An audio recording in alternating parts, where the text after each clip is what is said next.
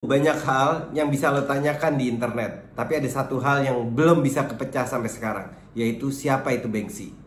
Hari ini gue bakal jelasin Banksy sampai ke ujung-ujungnya. One, two, one, two. Okay, One, two. comfortable. Yep. So, um, Banksy adalah salah satu graffiti artis paling terkenal di masa sekarang. Menurut Time Magazine, Banksy adalah salah satu dari 100 most influential people in the world. Orang yang paling berpengaruh di dalam dunia.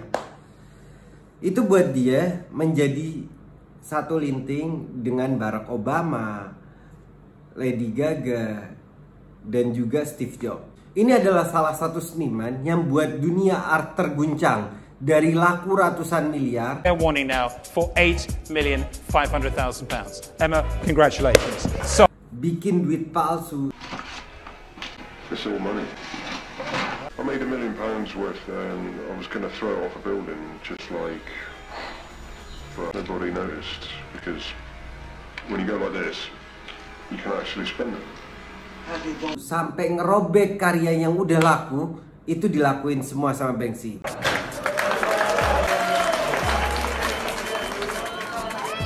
Dan bukan cuma itu, dia juga bikin satu impact buat masyarakat dengan bantuan donasi ke orang-orang yang tidak mampu. Contohnya, bagaimana dia melelang salah satu karyanya yang akan didonasikan buat satu rumah sakit atau pekerja kesehatan. A painting by the England based street artist Banksy has sold for $30 million. The Game Changer by Banksy at 14,400,000 is Hassel Pendulani is Sold. episode 30. Proceeds from the sale will be donated to health organisations and charities across the UK. Ini menarik banget karena tiap karya Banksy itu punya satu cerita yang sangat menarik dan banyak banget ditunggu sama orang-orang. Itu mungkin adalah salah satu ciri khasnya Banksy yang nggak banyak orang sadar bahwa dia itu ahli dalam membuat satu cerita dan membuat satu statement menjadi viralable. Sebenarnya kalau lo lihat Banksy itu punya visual yang sederhana, tapi itu menjadi relatable buat banyak orang.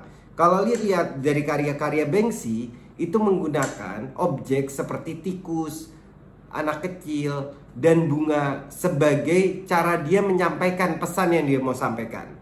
Dan juga dia banyak menuliskan slogan atau kata-kata di karyanya dia. Dan uniknya juga, walaupun Banksy segitu terkenalnya dan banyak orang mencari dia, tapi sampai sekarang identitasnya belum ditahuin sama seorang orang. Sebenarnya siapa sih Banksy itu?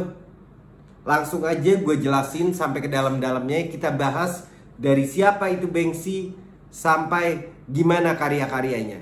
Jangan lupa buat lo yang baru datang di sini bareng gue Bill Muhdor, lo jangan lupa follow dan subscribe ini channel. Jangan lupa juga pencet tombol loncengnya. Dengan begitu lo bakal dikasih tahu setiap gue mengeluarkan uploadan yang baru. Dan pastinya gue usahain semuanya daging-daging yang bakal lo lihat. Jadi lo nggak bakal kecewa saat lo follow gue di sini. The big question today is siapa sih Banksy? Banksy itu adalah salah satu street artist yang berasal dari Inggris. Ada beberapa hal yang dianggap kenapa Banksy itu dari Bristol. By the way, kalau lo nggak tahu, Bristol itu adalah salah satu kota di UK. Nah, banyak orang berpikir dia dari Bristol karena dari jejak graffiti dia di awal-awal dan juga interview dia. Dan juga dia itu sangatlah relatable sama Bristol. Salah satu pameran dia di Bristol. Bukan cuman itu, dia Newport banget ini kota. 15-foot mural on the side of a classroom. Ini adalah salah satu hadiah yang dibuat Banksy buat anak-anak sekolahan. Dia bikin mural itu di sekolahannya langsung. Modern Paracrated artist. This original Banksy was discovered by staff Ada here Sarat early this morning, Para Enak alongside a Enak. letter written by the secretive street artist himself. Dia sampai nulisin it, he surat loh. thanks- Bahkan saat ada protes di Bristol, dia langsung turun ke lapangan. We've Dengerin. been contacted by Banksy, who has a drop of t-shirts today that have been specially designed in support of the Colston Four ahead of their trial. Dan ini dijual cuman buat lokal people. Dengerin, dengerin. And the t-shirts will be available only in Bristol and only from five local independent. Kan ada beberapa suspected siapa itu Banksy. kita bisa going further. Cuman apa poinnya? Siapa pun dia, yang penting dia impactful buat artwork dan buat masyarakat umum. Bahkan itu bisa di, dianggap sebagai magic. Lo tahu dong ceritanya Bitcoin, Satoshi Nakamoto. Salah satu magicnya Bitcoin adalah nggak ketahuan siapa yang bikin. Gua rasa ini terjadi juga di Banksy. Dan funny enough, gue pernah dengar cerita bahwa kalau seandainya Banksy ketangkep, itu bakal ada banyak orang yang langsung dateng ngaku sebagai Banksy juga buat nutupin identitasnya. Jadi semua ini udah by design. Jadi gua keep it up sampai sini. Siapa itu Banksy? Kita lanjut aja cerita tentang gimana dia bisa nemuin ciri khas dari artworknya. Jadi di awal karirnya dia itu ngelakuin graffiti secara freehand. Freehand tuh maksudnya lo pakai spray can langsung aja disemprot di tembok. Jadi kejadian itu terjadi pas dia mulai nyoret-nyoret kereta api. Nyoret di kereta api ketahuan sama polisi. Lalu dia dikejar-kejar.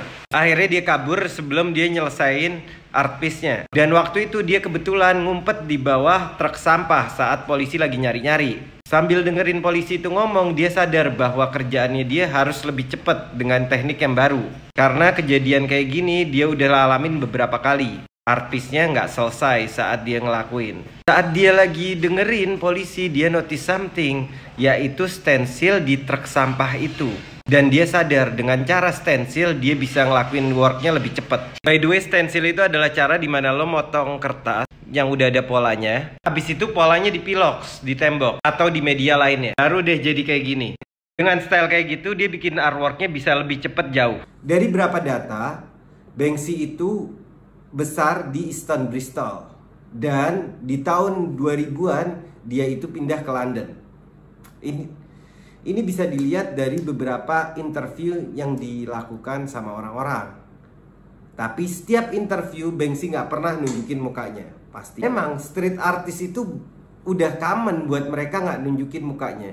Biasanya karena mereka itu melakukan perbuatan yang ada di grey area atau bahkan sampai ke ilegal. Kenapa? Karena banyak karya-karya mereka itu tanpa melakukan izin dan dilakukan di publik.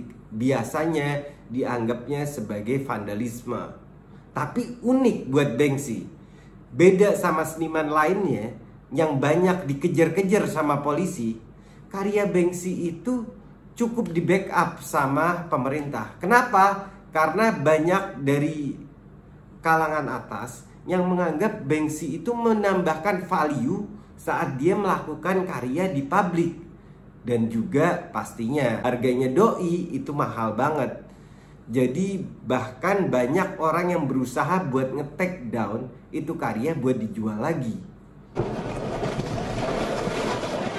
It ended with a showdown.